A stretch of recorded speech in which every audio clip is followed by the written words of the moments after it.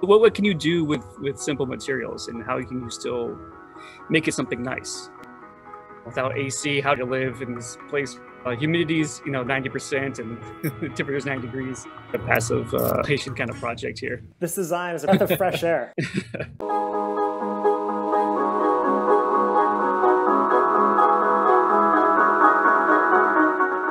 I'm Trevor Boyle, architect in Orlando, Florida. Uh, I have a design for a tiny home called the Breezeway House, based upon uh, originally a pandemic need, uh, something to be a clean home, uh, overflow flexible you could either bring it from hospital sites to residential uses. The key idea is flexibility. It's disaster relief. It's for anybody who needs a house, really. This project was done purely as a passion project, uh, weekend kind of work. Uh, my full job, I worked in the day at HuntonBrady Architects, a fairly large firm, uh, still localized, primarily in sort of larger scale projects healthcare, commercial, education, sort of the, the big holy trinity there. It was my first tiny house. I did win the first place for the professional tiny home competition from the Center for Architecture in Sarasota. I, it kind of excited me. That was a good chance to kind of work on a really small project and really fine tune and dig into all the details. Uh, you're doing the big commercial projects for the hospitals by day and doing the tiny home residential uses by night. Around the time we were getting all these stories of these frontline workers who were exhausted dealing with not only these new workload demands,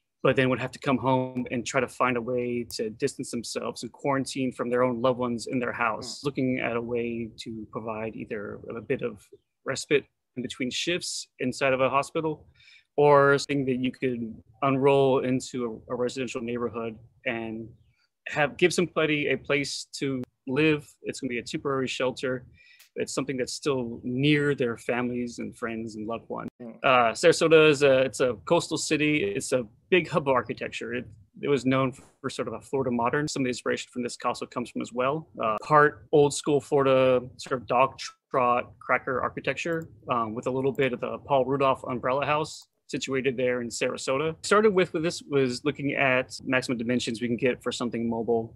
So it comes out to be about eight and a half wide by about 13 foot six to the top, which includes the elevation off the ground, and then about 38 feet wide. So that way you could kind of fit within sort of a, I use sort of a parking lot dimension. That way, if you're going to unrolling it into a large overflow space of parking, parking it in a hospital, uh, it kind of fits within that, that grid fairly lightweight. You can kind of pull it with a standard pickup truck. Setup process is fairly easy. You roll it up, unfold it. The canopy and the deck sort of interlock together, kind of like a zipper, so it unfolds up with the, the slats in between. Um, and then the deck folds down to hit the ground with a ramp where you can kind of come up for accessibility. If you have more than one, you can offset them and stack them up so that way the canopy and the deck is basically interconnect in a way battery storage for electricity um, and water tank storage. The idea of you can collect rainwater, or you can, if you're running low, you can fill it up with water for to kind of get you through and maybe into the next rain. Florida, we got pretty good rain storage coming through. You can refill that up pretty well, and lots of good sun. So for solar panels on top, try to make it easy for so you don't have to deal with the manpower of having people have to set up things too much. One side separated for more private functions. You're sleeping, your bathroom. The other side's more of an open living area, kitchen, sort of seating kind of functions. That, that center space becomes your sort of decontamination area. And it's like a scrub vestibule where you can kind of wash off anything. Sort of easy to access. No one has to touch anything. The, the blue side is sort of, it's the more private space. So when you come mm. in to that, that blue side, it would be restroom. It would be your sort of sleeping space with like a little desk there. Um, so it's your dressing, your bathing.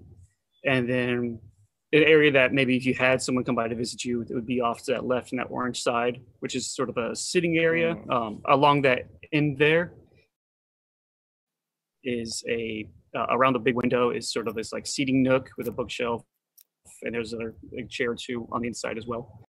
Some of that Florida cracker architecture, the first settlers came through, you know, without AC. How did they find a way to live in this place uh, humidity's you know 90% and the temperature is 9 degrees. Sort of based around that, there's the the dog trot style, which is known for the the breezeway, which I just named it after that concept of having that sort of open air section between the voids and the volumes. Paul Rudolph's uh, umbrella house with this elevated, separated uh, canopy that covers the entire house and extends out over the, the pool area. You can see there, there's that separation there between the ceiling plane and vents uh, that go along the interior space. So that way, along the full side of the elevation, uh, it's airflow all the way through. They kind of pull these breezes in. Um, there's three windows on this project uh, on either end, and then a larger one in kind of that little living area they're all supposed to be operable as well. They can kind of fold up, allow cool breezes to come in, warm air gets carried out by that, that wind through it. Um, it helps kind of keep that ventilation going through the space there. Floor plan is almost like like a mechanical air cleaning machine. But for all these people in these hot climates here, it's pretty common. You include a really high area just so that hot air can get pulled out. Because that's the whole con thing you're combating here in Florida this whole time is how do you how do you stay cool? Door that goes off to the private side and the door that goes off to the more public side. Um, on there's sliding barn door kind of styles. Uh, this is a view inside that sort of that scrub area there. In healthcare, it is really important um, to get that fresh air exchange, just to kind of keep the inside environment fairly clean. You kind of want to get as much dead air out as possible. There's going to be adjustable vents on the inside so you can actually open up for the airflow. So those can be closed while you try. Do as much as we can with passive ventilation and cooling. Toilet system is, is built out forward a little bit. The sink actually sits uh, behind it. And it built within that base there, you have room for a tank. Uh, you can have some fresh water, sort of gray water storage here, are over the wheel wells. So since the edge of the the outside face of the walls meet the wheels, you have that wheel well depth on the inside to contend with where you can't simply walk through. They stick up higher. So since I already had to bump, bump that wall out, mm. it seemed easy. Like, well, that whole space above the tire, basically, you can use it for, you can sort of, you can slide any electrical panel sets on one side or water storage on, on the other side. Take, taking advantage of lost flat floor area. You don't want to be stumbling over these wheel wells anyway. Just trying to keep it fairly low enough to the ground, not have to be raised up like a U-Haul yeah. kind of level height there. Find something low enough to the ground and meet like an ADA ramp slope was really important. Two feet off to the, the height of that trailer bed there. So it interlocks blocks like it's it's like sort of taking up the same space and it's like every other. Ideally, if you kind of let the the weights of it kind of actually lift it up and let them work together, you just kind of start it in motion and then it kind of goes. Its own weight will actually lift it up because it's being pulled from the opposite direction. Like anyone can open a U-Haul door with a chain. So and just partner with U-Haul. They can sponsor it. And it's already built on the U-Haul base. You live. Yeah. You live. Breezeway. Yeah. By U-Haul.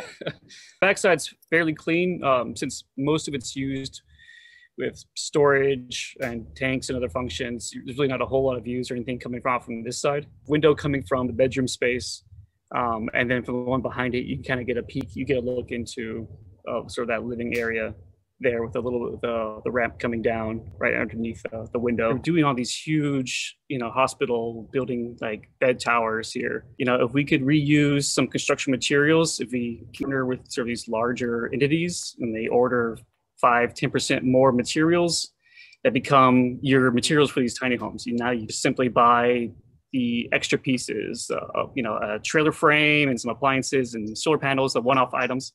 But most of your cost has already been, been kind of picked up by these organizations that already have investment in the community. But what can you do with with simple materials, and how can you still make it something nice?